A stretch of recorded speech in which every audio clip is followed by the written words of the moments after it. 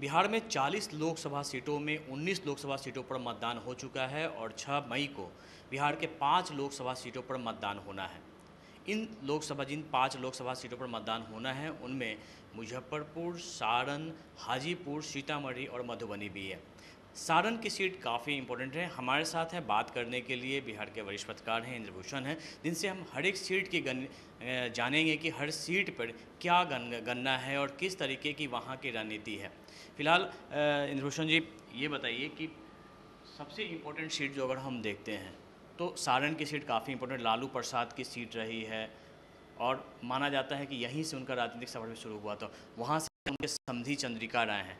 कितना बड़ा वहाँ पे टक्कर है राजीव प्रताप रूढ़ी में और चंद्रिका राय में। टक्कर तो दोनों में बराबरी की है, पर रणनीति की बात है। चंद्रिका राय बहुत पीछे हैं। चंद्रिका राय के पास संसाधन नहीं है। या या संसाधन है तो वो कभी लोकसभा का चुनाव नहीं लड़े हैं। उस टाइप से मेहनत नहीं कर पा लालू लालू का जो, लालू की जो क्षेत्र है, वो लालू बहुत मेहनत करते थे।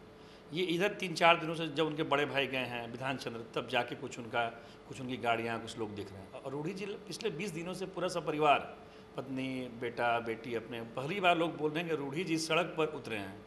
वो अपना लाइव कर रहे हैं फेसबुक कर रहे हैं, मैं लोग को बता रहे हैं कि हम मेहनत कर रहे हैं। लड़ाई ऐसे अगर कास्ट समीकरण में देखें तो बराबरी की है। चंद्रिका राय को टिकट देने को लेकर तेज प्रताप नाराज़ हो गए थे। तेज प्रताप, अंत में चंद्रिका राय को कहना पड़ा कि नहीं, उनकी मदद के लिए, उनके प्रचार के लिए तेज प्रताप आ रहे हैं। लेकिन तेज प्रताप क्या जाएँगे और क्या लगता है तेज प्रताप की नाराज़गी का असर भी वहाँ मतदाताओं पर दिखेगा? नहीं देखिए उनकी नाराज़गी का कोई असर तो नहीं है। उससे और चंद्रिका राय को सहानु सहानुभूति वोट मिलती है। उनके उनके फादर वहीं से सीएम रहे हैं। वो, वो भी बड़ा परिवार है। लेकिन फ़र्क ये है कि जो लगातार तेज प्रताप उनके खिलाफ बोल रहे हैं तो जो परिवार का झगड़ा है वो तो सड़क पे आ ही रहा है। अब अब कल ही वो ट्वीट कर दिए। अपने ससुर के खिलाफ कि नहीं, ससुर जी मेरे बारे में झूठ बोल रहे हैं कि हम हम फिर से फैमिली के साथ जुड़ रहे हैं। तो इससे, इसका असर तो पड़ता है प्रचार पर, लेकिन इसका कोई वोट पर कोई असर नहीं है। चूँकि तेजस्वी लगातार उनके लिए काम कर रहे हैं। कल रोड शो किए, आज भी उनका रोड शो है। लालू परिवार चाहता भी है कि वो सीट मेरे पास कायम रहे। कल जिस तरीके से तेज प्रताप जहानाबाद में तेजस्वी पे कमेंट करते हैं, हालाँकि नाम नहीं लिया लेकिन उन्होंने कमेंट ही किया कि लालू जी एक दिन में 10-15 से 20 सभाएँ करते थे, नहीं थकते थे, और कुछ लोग जो हैं, पाँच चार पाँच सभाएँ करते बीमार हो जाते हैं। तो अब जो घर का झगड़ा था, वो बाहर सार्वजनिक मन से आ गया। नहीं, क्या है कि देखिए, वो वो परिवार की तरह पार्टी में भी चाहते हैं तेज प्रताप जी कि बराबरी का हिस्सेदार मिले। पापा उनके पॉलिटिकल कैलिबर को देखते हुए पहले उनको किनारे कर चुके हैं।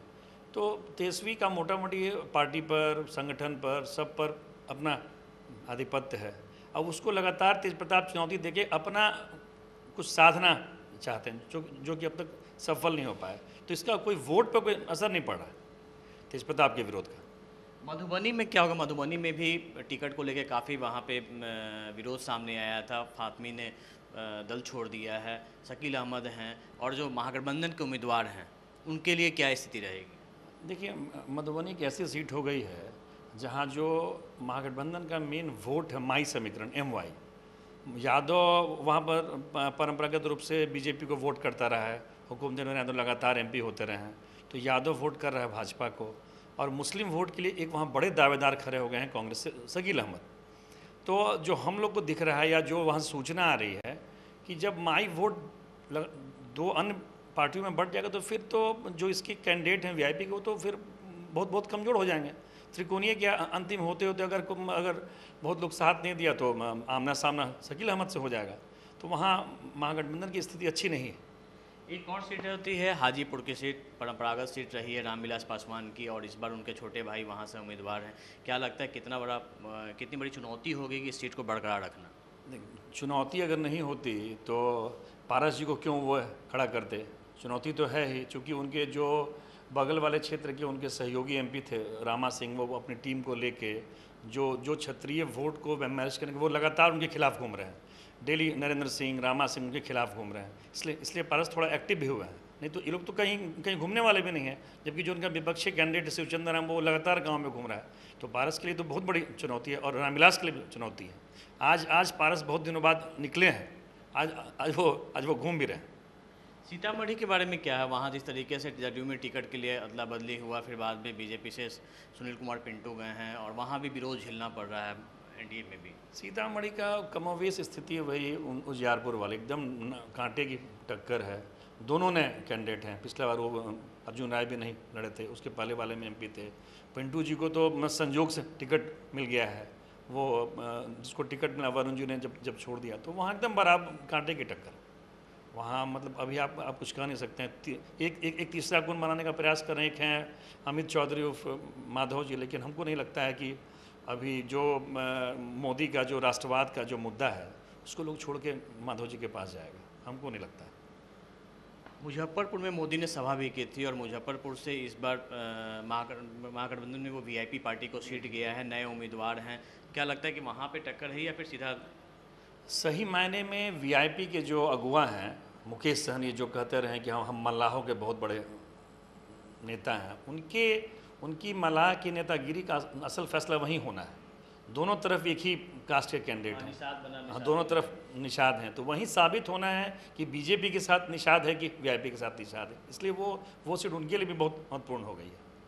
अच्छा आप भी नुकसान पूरे इलेक्शन कवरेज के दौरान अलग अलग इलाकों में गए हैं क्या? क्या लग रहा है इस बार जो वोटर का जो मिजाज है, किस तरीके का है? 2014 में एक था मोदी लहर था और मोदी लहर का साफ़ तौर पे दिखता था कि हाँ इस बार परिणाम मोदी के फेवर में। लेकिन इस बार जब हम लोग भी गए हैं, आप भी जा रहे हैं, क्या लग रहा है कि वोटर के मिजाज देखने से क्या रुख लग रहा है? देखिए, हम इसको दूसरे अर्थों में लेंगे। चौदह में मोदी लहर नहीं था। चौदह में था कि कांग्रेस के दस साल के शासन को हटाना था।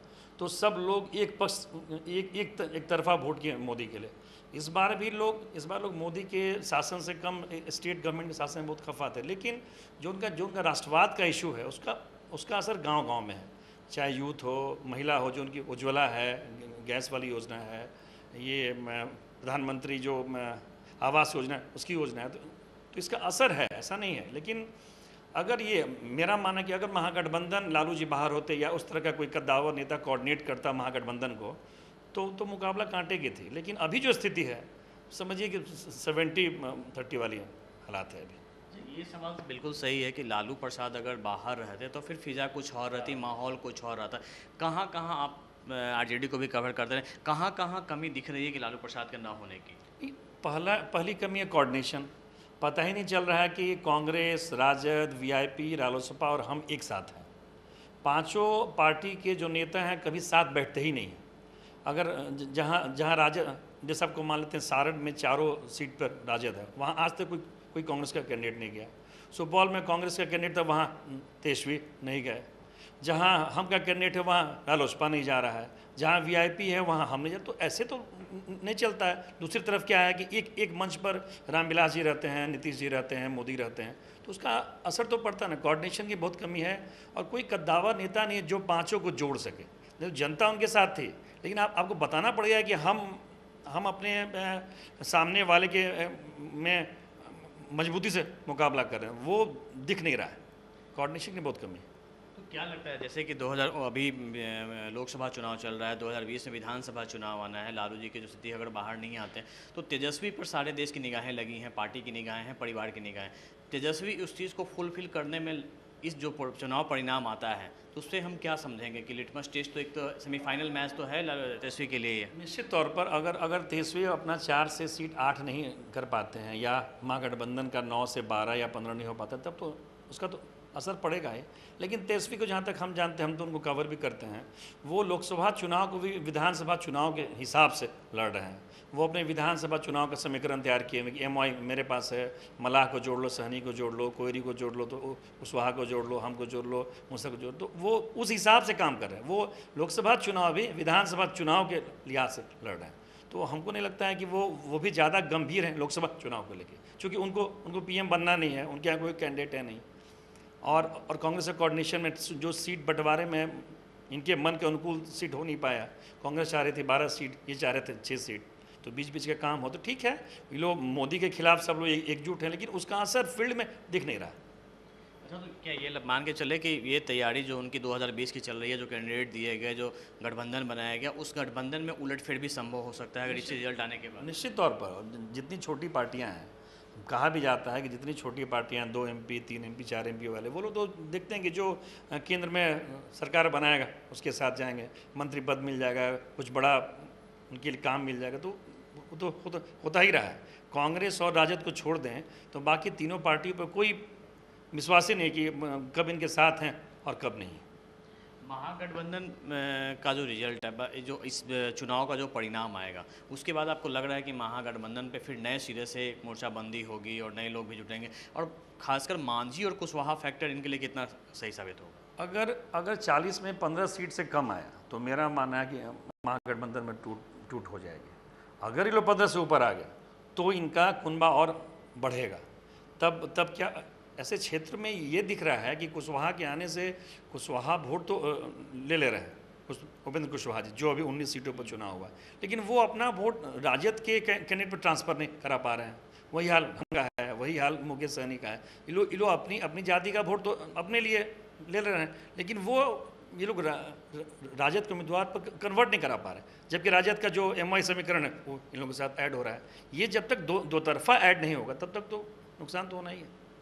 बिल्कुल, हमारे साथ इंद्रभूषण थे जो बता रहे थे किस तरीके से 19 सीटों पर चुनाव हो चुका है और 6 मई को पाँच सीटों पर चुनाव होना काफ़ी महत्वपूर्ण है। सारण की सीट है, हाजीपुर की सीट है, मुजफ्फरपुर की सीट है, मधुबनी है, सीतामढ़ी है तमाम सीटों का हमने विवेचन किया और उम्मीद जता रहे हैं कि वोटर अपने वोट देने के लिए बूथ से निकलेंगे और जो पर, चुनाव परिणाम आएगा, उसके बहुत हद तक वो तेजस्वी के आगे के राजनीतिक भविष्य के लिए काफ़ी कुछ तय करेगा।